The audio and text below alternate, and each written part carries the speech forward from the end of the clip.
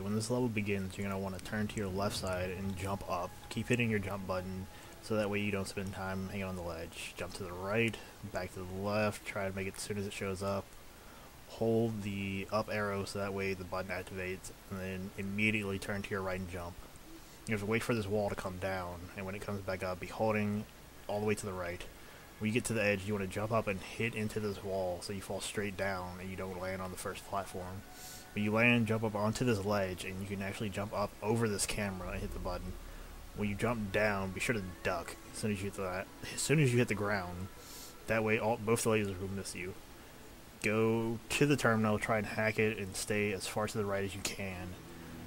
You won't have to worry about the camera when you come back to the right as the lasers are facing together and they won't be able to hit you. And then simply make your way back up, and that's the end of the level. Uh, I hope it helped, and keep watching for more.